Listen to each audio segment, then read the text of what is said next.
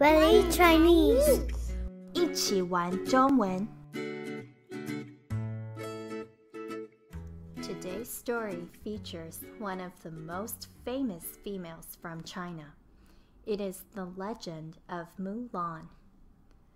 Mulan teaches us courage, persistence, and breaking the mold. Before we begin, let's practice the words we'll be learning. 女孩、Girl, 男孩、boy, 骑马、riding a horse, 武术、martial arts, 勇敢、brave, 花木兰。从前，在中国，有一个女孩叫花木兰。她从小就喜欢骑马与武术。有一天，军队进城来，每一家都必须派一位男生加入军队。木兰的爸爸已老，弟弟的年纪太小。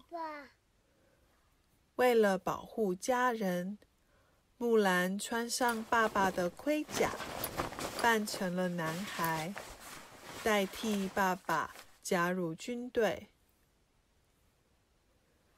木兰虽然弱小，但武术高强，有毅力又勇敢，打了许多胜仗，也获得了大家的尊敬。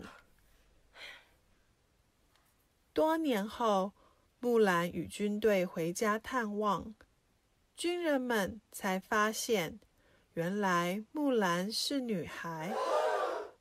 她的勇敢感动了大家，也成了许多女孩的榜样。The Legend of Mulan.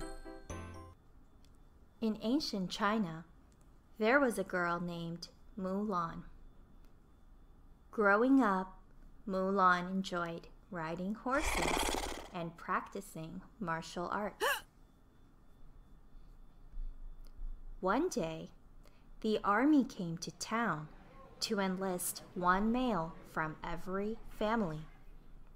Mulan's father had grown old, and her brother was still a child.